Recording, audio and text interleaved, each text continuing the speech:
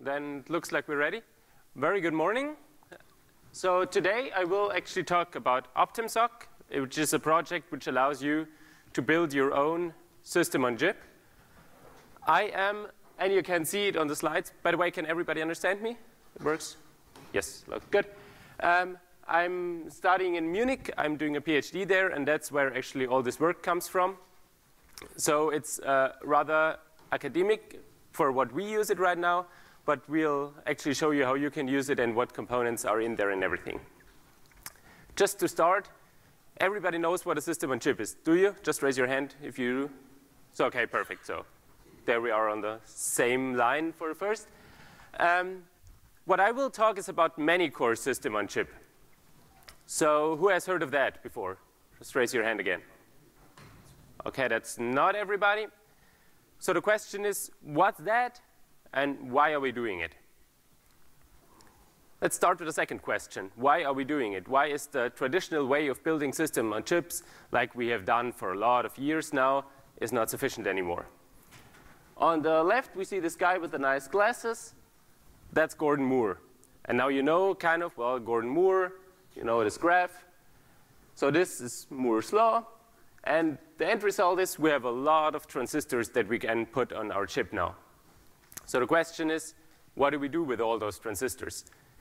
The Moore's law states actually we have around twice as many transistors every 18 to 24 months. So we need to actually scale our way we develop chips in this area. So we need to, we're actually able to build chips that are twice as powerful, maybe, every two years. Well, the reality looks different, obviously.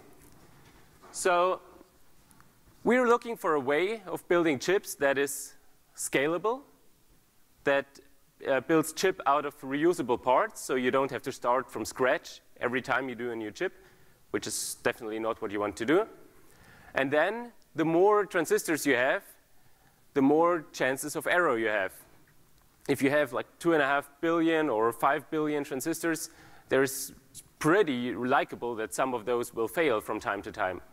And also not maybe just one transistor will fail, but a whole area of your chip will fail. So if you're building chips and you want to use them for a couple years, you actually want to build them in a scalable and robust and reusable way.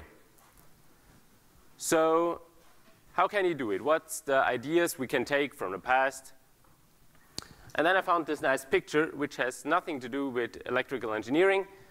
This is a Roman mosaic from 2,000 years ago, a bit more. But there you can see the basic concept that we will actually apply to building our chips as well. This mosaic is built of small pieces that individually all look the same, so a lot of white pieces and a lot of different colored pieces. And out of those, you can build a really nice large system. And this stuff is actually pretty scalable. If you want to build it larger, just put more tiles, small pieces next to it. If you um, actually, it's pretty robust as well. If one of those tile small pieces fails, your floor is still okay. It's not like build up huge bowls, and if one of those fails, you actually drop on the floor below you. So this sounds like a good idea. And that's what we did. And that's what other people do as well. So these tiles are our basic building blocks for our system on chip. And right now you see every small square here is a tile. This looks pretty boring because those tiles all look the same and they're not connected at all. So let's start first, actually put some colorful tiles there. Why not? And since we're not artists, at least I'm not, that's what you can see here, uh, we don't have tiles that just look colorful. We have tiles that actually have different functions. And here I have a couple examples for functions. We have compute tiles, which contain a processor core. We have, for example, here a memory tile, which might contain some memory, obviously. And you have the red or orange ones. For example, here would be accelerator tiles, some video decoding, some DSP, some uh, hardware crypto, whatever you might want to put in there or whatever your application actually needs. So now we have this structure of tiles. We obviously need some connection. And traditionally, and probably everybody knows that, that's here in the room, the traditional way of connecting pieces on a system and chip is using a bus or interconnect, just like Wishbone or AX, uh, AMB, no, AXI, something like that. Uh, so the AMD stuff, and there's different ones as well. For those tiles, we use a different way of interconnect, which is called network on chip. And those ideas are actually just taken from the regular networks you have at home. They're here, the gray areas are routers, and the lines are just interconnection lines. So you have a system that has a lot of tiles, and you have routers with each tile, and those tiles are connected to each other. In this example here, we have a mesh network. So this is the whole connection in every, so there's connections between every router in every direction. This is nice because it gives you a kind of a scalability really easily. It also is rather robust because you can imagine that if like this link fail, or let's put it this link fails, you can still go the other way around and still go there if your routing algorithm is intelligent enough. But this is a lot of overhead as well. You have a lot of wires, you have a lot of routers, you have actually a lot of buffers in those routers, which is usually the most expensive part in a system on chip is memory. So there is another way of doing that. You also can do it in a ring, and it might not look like a ring at first sight, but it is. It's electrical engineering artist ring. So it goes this way, and it goes up again here, and so there's no connections in here. So you have like kind of a ring connection. And it works with the same principle, just looking a bit different. So those ideas are not really new. And you might have heard of that. That's the Intel SCC, was published in, I think, 2009, end of 2009. So this was a research project by Intel to build exactly such a tiled system on chip. And you can see this is one of the marketing slides of Intel when they announced it. You have here routers, you have tiles, and they're all connected in a fashion like we've seen before. This one actually, and it says it here, it has 24 tiles. Each tile has two processors, so that's 48 processors on one chip. Those chips were never really commercially available. They were a research project, and I think they built like 100 or so of those and shipped it to researchers around the world. And today, what we can get of this research that Intel did is that parts of the ideas that were used there are available in Xeon Phi, which is now commercially available and used as accelerator cards for some use cases. Let's go on.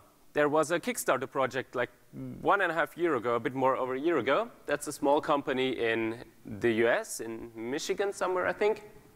Uh, they're called Adapteva, and they're building this chip called Epiphany.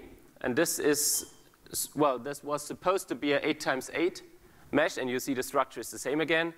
I think what they're shipping now is a 4 by 4 with 16 cores um, because it obviously takes a lot of money to manufacture chips at all, and so they had some financial problems. But I think they did it now, and they're about to ship in first part of this year somewhere. See the same structure again. It's regular structure. And I think you can buy one of those boards for $100 was the Kickstarter project.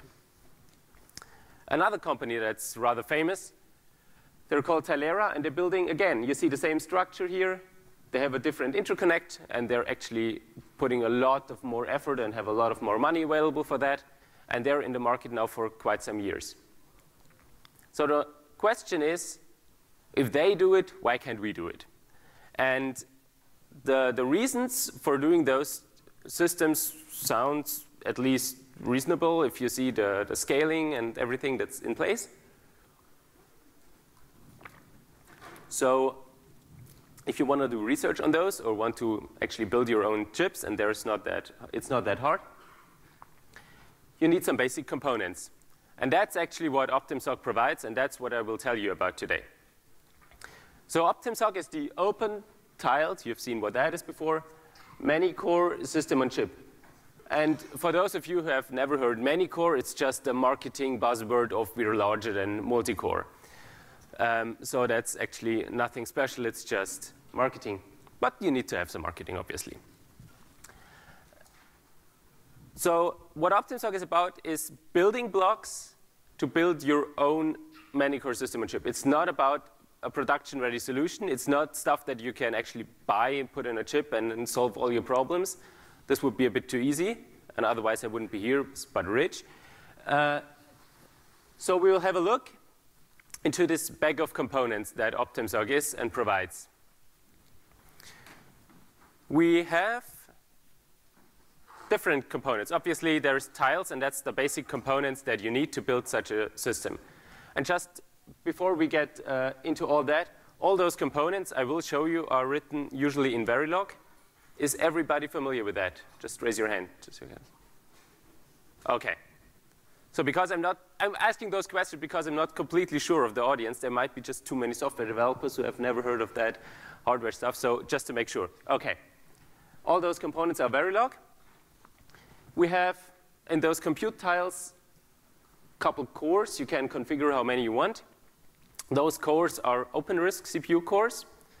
And up until a week ago, I think, we used the old OpenRISC cores, which are the OR 1200 cores. Since a week ago, I think it's published that we use the mor1kx. That's the new implementation of the same instruction set of the OpenRISC cores. So they're actually instruction set compatible. You can use the same compilers and everything. Just the implementation is actually a bit, at least easier to read and to extend and everything. Those are not by ourselves. They're coming out of the OpenCores project, and they have a lot of very uh, intelligent people working on those. We actually needed to extend those cores because the mor1kx as it's built right now, is meant mainly for a single core use. So we had to extend it a bit. So there is a new, whoa, some earthquake happening we have a core identifier, so each core gets a unique ID, and that's put in a register. You need that actually to, for the core itself to know who he is. It's rather important. We have some, we have a compare and swap unit in there after level one cache, which you need to implement mutexes and other things. And we have some scratch memory for each core, because otherwise you just have one local memory. So there is not that many registers usually in the um, OpenRISC, so we have some scratch memory actually to extend that. The picture here says it. You have a couple cores. You have a local bus connecting the, the level 1 caches. And you have a local memory that all those cores access. And then you obviously need to communicate with the world outside you. You have a network adapter, and I'll go into that into a second. You recognize here there is no level 2 cache, there's no level 3 cache, no level whatever cache. There is this core, its whole is a distributed memory core. So there is no global coherent memory shared among the tiles, but they're individual. There is, however, a shared memory version that we have around, which is partly working, but not completely shared memory turns out, well, is a rather large problem, especially cache coherency. If you want to get that right, it's not that easy, and we've seen like in the Parallella stuff before, they don't have even caches. Uh, the Tilera one we've seen before put a lot of, lot of effort into cache coherency of the whole system. As it said, this is right now distributed memory, and this is good enough for a lot of use cases. And as I said, there is a shared memory version, and I'll say that a couple times. Most of the work I'm presenting here was done at the university, was done by students that did Verilog coding for the first time. So there is a lot of code around, which is not really ready to be published. So if you want to get started with that stuff, talk to us. There, we can give you, obviously, the code. That's no problem. But we don't want to publish it right now because otherwise you'll yell at us what crappy software we publish. And, well, it's there, but you need to put some work on it. It's like staging, staging, staging tree. Good. To the network adapter. The network adapter is the main bridge between the communication that happens in those compute tiles and the, oh no, the computation that happens in the compute tiles and a communication which is done over the network on the routers. There is two ways of communication in those uh, network adapters. There is a DMA engine, which allows you to grab some memory pages from a memory tile that's somewhere available and put them in the local memory. And there is message passing support, for which is our preferred way, actually, of communication. So message passing is support is rather easy. It's fully asynchronous. You write into a buffer. It gets sent out to the network eventually. There is new messages coming in from the network. They go into read buffer, and you get an interrupt on the processor if there is a new uh, message available. So this is like the easiest way of message passing you can think of. We have been talking about the memory tile just before. So let's see how that looks. Memory can be like in two ways. There's uh, SRAM and DRAM, and we support both with different kind of ways. There is, for the SRAM, you have a network adapter, which does the DMA again and does some other things as well. We have a, a wishbone wrapper, and then you can connect just regular SRAM that you can find on an FPGA platform or in simulation or whatever. So those components are usually already available, and they're already most of the time coming with a wishbone uh, adapter, so that's pretty nice. For the DRAM, you have again the wishbone wrapper, and then you actually need to talk to a memory controller that's provided by your um, IP provider usually, so that's like Xilinx memory uh, controller or whatever you have on your FPGA chip. So um, with those wishbones wrapper, and you can find those memory controllers can be usually found on open OpenCores or something like that for the um, platforms that are commonly in use. So you can get started really quickly here. You don't need just memory, you need I.O. as well. And you find here a series of really state-of-the-art interfaces that we support. So that's UART, that's SPI, and there's the most famous of all, the LCD dot matrix display you figure out this is not meant to be like real I.O. There is no hard disk I.O. or anything. That's not the point of the whole thing. Um, the I.O. is just actually to get some status information out. It's not uh, usually the point of those systems actually to do real hardware access. So you have support from like a larger core or something like that in there. Uh, by the way, what you figured out, UART is a really hard protocol not because the protocol is hard, because there is so many different connectors that you can find, male and female and crossed and whatever. So for people like us that are used to Ethernet connections that always work, we actually needed to buy a real big box of different connectors around, just to be prepared for the strange ideas others have. So going back to the real stuff, and that's actually where the fun starts, and that's where you can actually do most is accelerator tiles. You can use this tiled concept and put any tile in there you want. And they co communicate over the network. That's rather easy. The network protocol is really, really easy.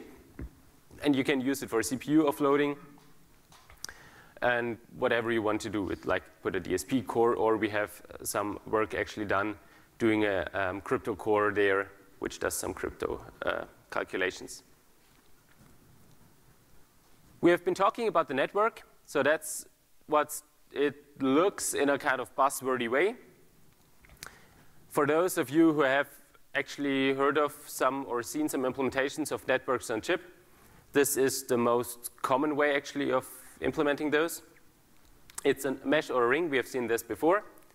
It's uh, wormhole based. It's packet switched. There is dimension routing, so there's no deadlocks. Which actually, so dimension routing means if you have seen this mesh before, it only works for a mesh, obviously. You just go in one direction to, the, um, to your connection and then just go down. So always go left or right and then down, not just randomly. This doesn't give you real nice robustness features because it always, the packet always takes the same direction, but it's really easy. And there is, the buffers are configurable in the routers, and there is support for virtual channels. There is other features this, that are not really listed here. There is support for uh, multicast, there is support for bufferless networks, and there are some other things like dualcast and stuff like that, which are again available but not really production ready.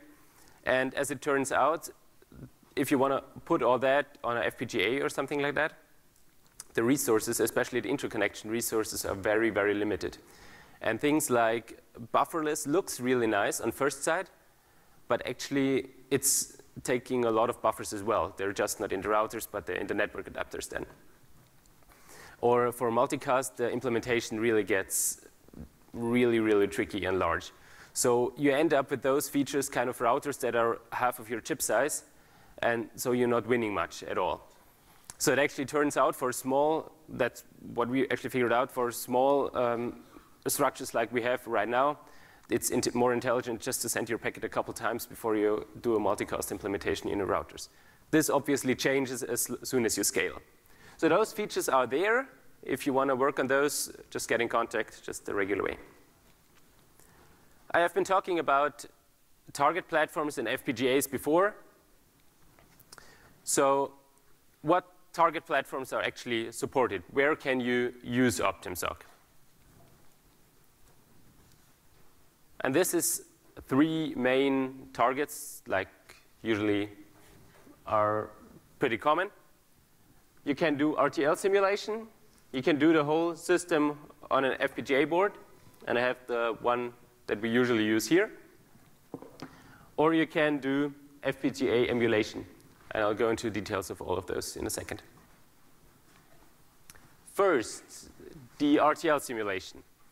Who has worked with ModelSim or some other simulation tool before? No, 60% or so.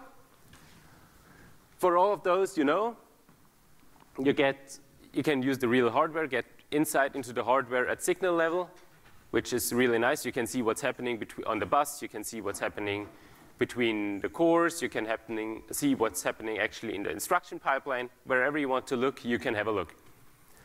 It's really fast turnaround time, so you change something on your code. You recompile it with ModelSim, and just takes a couple seconds or maybe, yeah, usually seconds, and then you have your changed stuff. Obviously, there is downsides as well because there is no free lunch usually. It's rather slow, and I mean, it's really slow. But anyway, you can get really nice insights, so that's usually what you do first when you do new code and just to test it. There's another tool called Verilator, and who has heard of that? Just raise your hand again. Whoa! This, so ModelSim is commercial software. It's sometimes available for beer free, but usually not, especially for larger designs. Verilator is a tool that takes your Verilog sources, compiles them into C code, and then the C code gets compiled by a regular C compiler.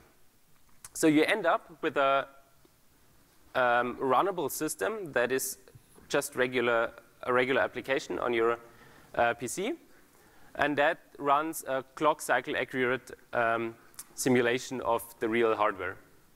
This is rather fast. It's much faster than ModelSim. It's free software, but it's not as accurate, obviously, as uh, ModelSim. So you just get cycle accurate simulations. But uh, it's really nice if you're doing system level design. If you want to actually test software that runs on those systems, you can do that rather easily. And the other problem is you don't have that much insight into the system. It takes a bit more effort actually to go down to the signals because most of them are optimized out just to get the speed up. And there's a third option I just mentioned here. That's Icarus Verilog, and I'm sorry, I've never used that. It's free software. It should be, from the idea, basic idea, similar to ModelSim, so it's a regular simulator. The problem is if you work in academia, everybody has access to ModelSim. In, in industry, it's just the same. So we've never tried uh, Icarus Verilog, so it's guess it's up to you to try it. But it, in theory, it should work. Obviously, simulation is nice, but not really a solution. So we want to go to some real hardware. And real hardware in this ca case is soft hardware. Real hardware we obviously cannot afford, and I guess most of you cannot afford either. So what we use is FPGA boards, and we use those FPGA boards not to put some custom logic on the FPGA, but actually to put the whole system on chip on the FPGA. There is two boards we mainly use. One, and I've shown that before, is uh, this one, this the uh, ZTEX board. It has a Spartan 6 FPGA Xilinx on it, and a nice use, well, not so nice, but reasonably working USB connection chip on there. So on this system, you can get six to 10 CPU cores with the network on chip and everything on there. So this is a rather good start. The same is true for this, and this board is rather common as well. It's distributed by Xilinx to all universities, but it's also sold as a regular development board for couple hundred euros. Uh, so it's known as ML505 or as XUP V5 for the university version. We are, as you see, rather Xilinx-based because this is the tool flow we're actually used to. We have been experimenting with some Altera FPGAs as well. So there is the DE Nano Zero, I think it's called. So this should be rather common as well. Um, so we started on that, but didn't really have the time to get into all the Altera flows. So in theory, it should work. Try it out.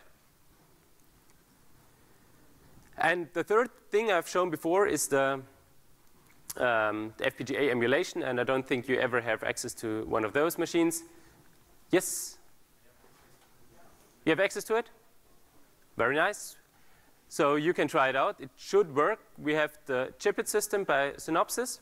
So those emulation systems, for those of you who don't know, are systems that put a, together a lot of FPGAs and form kind of a virtual FPGA which then can be used to prototype your system. And you can, on those systems, actually exceed the limitations of just having one or two FPGAs or where you can just get like 10 cores, you actually can build like 100 cores on those machines. But it's, again, it's, there is some downside, and that's usually speed, so those systems run at a couple kilohertz or megahertz or something like that if you don't optimize it really hard. Very nice. Now we got the hardware. We need to do some programming. We need to put some software actually on this chip, which never existed in this form. It's just an image, usually. Uh, to start, like every programmer, you write your own C library and you write your own compiler. No, you don't do that.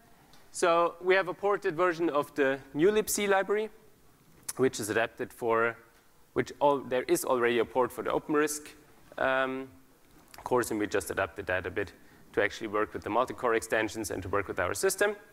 And we can use the regular OpenRISC um, GCC. You need some form of operating system after you're done with your C compiler and your C library. And there we got some basic support. So everybody, few is probably used to having a full-fledged operating system around. This is not what we have here. We have here two libraries which are really, as the name says, rather bare metal and basic. There is the lib bare metal, which does mutexes, compare and swap functionality, interrupt handling, DMA stuff, timer stuff, things like that. So this is a rather small library. It's a couple of hundred lines of code and already allows you to get your first Hello World program actually started on the platform.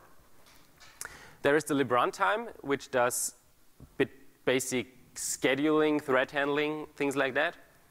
And if you go, want to go up higher the level, there's two APIs that actually are made for systems that are spread out, like those tiled systems. One handling communication, and the other one handling tasks that are spawned on a different uh, tile or on the same tile maybe, so you can actually give work to other tiles. Those two APIs are the MCAPI and the MT API uh, by the Multicore Association. We have a rather working uh, communications API implementation. We have a not working anymore implementation of the task management API. So it was working, but we changed some stuff on the system, so we need to do a lot of that again. Anyway, again, if you have questions, just ask. Uh, there is Linux support being worked on, and this is not done by us, by, but by uh, some people in Hong Kong. They're um, working on a Linux implementation, but uh, they said it will take them some more time. So they're expecting conservatively end of 2014. Let's see how that turns out. Definitely looking forward to that. So how do you do programming? It's easy. That's the Hello World program that actually is shipping in resources. So that's just Hello World. And that's the makefile that comes with it. And that's also rather easy.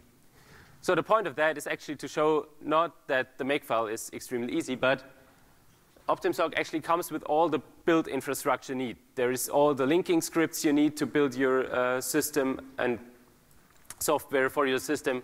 You actually can start, get started really, really easily. It's like a board support package for your own system on chip. This actually turns out to be usually the really hard part, get the linker stuff ready, get the vector tables and everything in order.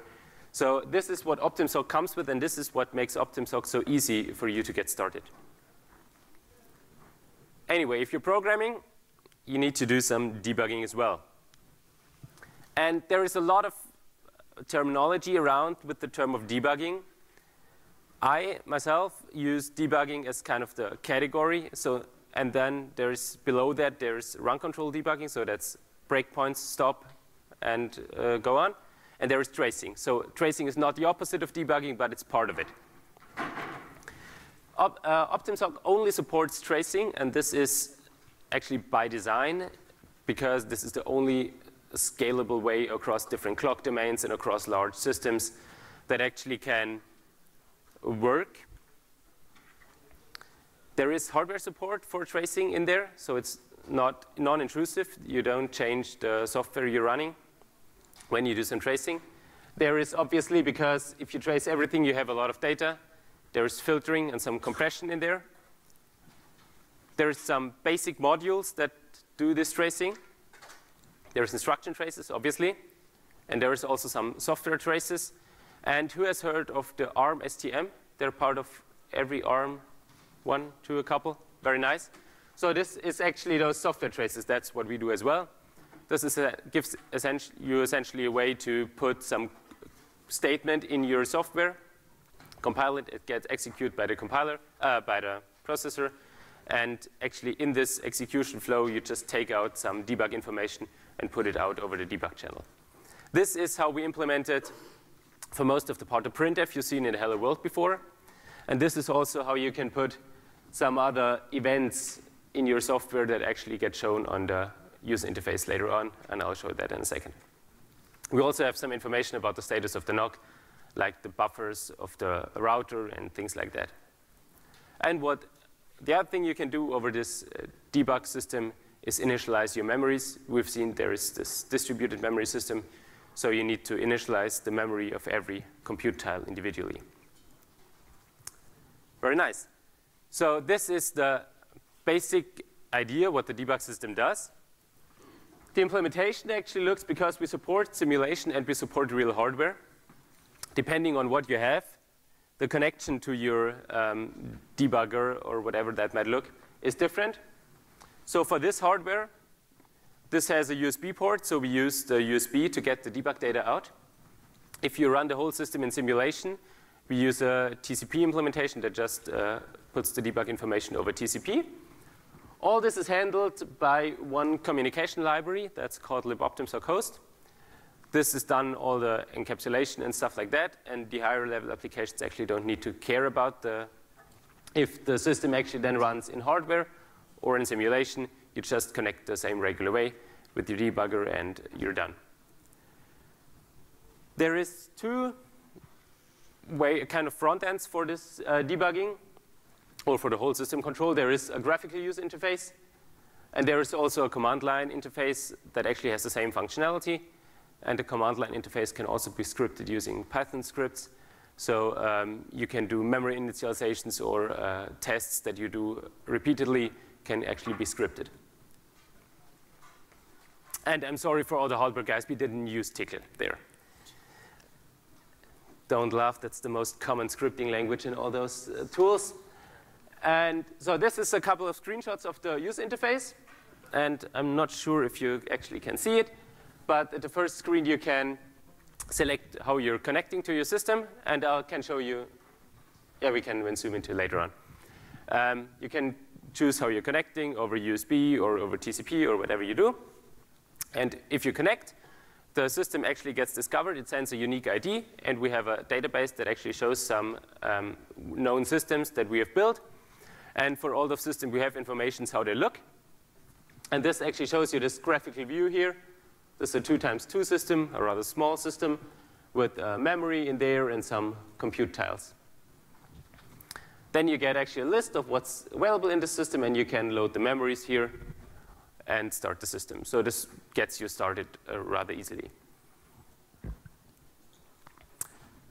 As soon as you start your program, you get some information about the software traces that are sent. So you get that here. And then you get here the information that's print on standard out. So that's the printfs we've seen in the software before. You get those in this uh, user interface as well. And then down here, and this rather looks boring right now, but I can show you a picture that's more interesting.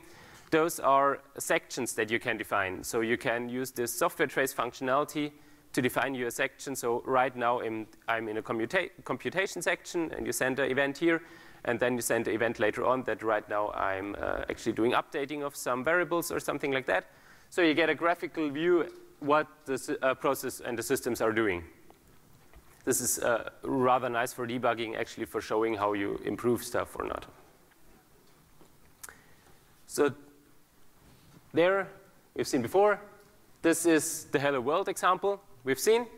And you see here four cores, each with a uh, core ID. You've seen some timestamp, because all the messages that go over the debug log are actually timestamped to be able to correlate them later on. And you see the output of the printf. So that's very, very easy to get started. Now, what can you use OpTiMSoC for? And this is a kind of a difficult question to answer because I don't know what you have in mind. I can tell you definitely what we are doing with it. You, we are doing, obviously we're a university, we're doing research on those architectures, and we're doing research usually on the hardware architecture part. So we uh, try to figure out what is the most intelligent way, obviously, because it's coming from us. We already know what the most intelligent way is uh, to put the tiles together, what's the, how you uh, actually want to put the routers in there, what's the connections between the routers, stuff like that. How you want to organize your caches and things like that. So that's what we do with it. For you, like the easy part that definitely can be done, if you have an FPGA board around, you can use OpTiMSoC as a really good um, starting point to put some processor cores on it, to get the, all the infrastructure around it, and actually put some processing on those FPGAs. You don't need to put a lot of uh, CPU cores in it, like one or two is already sufficient. That works really nice for many cases. And the thing is that what we use OpTiMSoC for as well, you can look inside a system on chip. That's what you usually can't do on a ready system that you buy but uh, you can use the, run the simulation and look inside. So get started. The code and documentation is on optimsoc.org. It's, um, for most of it, MIT licensed. There is some additional code that we integrate that is different licenses, so have a look, but our code is MIT licensed. Uh, there is also some documentation. There's it's actually not that bad. It's really good to get started. The deeper insights uh, is usually up to you. Um, but you should get started really easily. That actually concludes my talk. And there you see the great LCD display driver here at work. And as I said, a lot of, lot of the work actually was done by students, so they're listed here. Thank you for your attention. I'm ready for questions.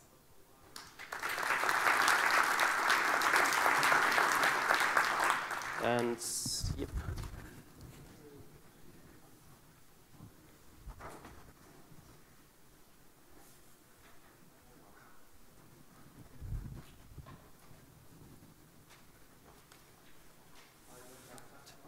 We have another one as well. I don't have sound. I have sound? Okay. Hello. Um, yeah. Can you give us a rough idea what number of cores can you get on a given size of FPGA, say 35,000 gates? How many CPU cores will you get there with all the overhead for routers and stuff? I don't have the numbers at mind right now, and I don't want to give you wrong numbers. Um, I can look it up and give it to you. So you can actually, if you look up the Spartan 6 that we shown before, you can get um, 10 cores around on there with the network. So just divide it by 10 roughly. But I don't have the numbers of gates in, at mind right now. But I'll look it up and get back to you. There's another question. What would you expect from programming languages to support such systems like message passing or such features? Um, so on, on, the software side for message passing support. Yeah. So this direction goes more into the wish list area of what I would wish. Um, so that that's a difficult question. so it, the ideal thing would be actually not to see it, and that's what a lot of things actually go into direction. You go from a model and it builds the, the whole system by it yourself. Uh, essentially, so kind of the, the, the, data flow graph. So you go from different uh, processor cores and uh, strip your communication, and then you don't see the message passing at all. It's just used. So this sounds like a way that we might go for some solutions, and but well, explicit message passing is not that hard. So I, I don't know where the programming language research actually or stuff goes in this direction. I don't know. So no real wish list here. Are there more questions? There is yeah. one.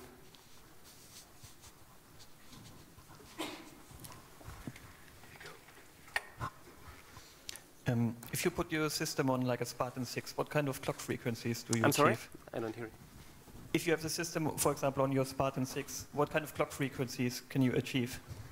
Um, we're rather conservative because we don't care too much about the clock frequency right now. We run those with 50 megahertz, so 50. Um, you can go higher. You can go to like 100 or 150 if you really optimize it, but okay. that's not what we're done right now. Okay.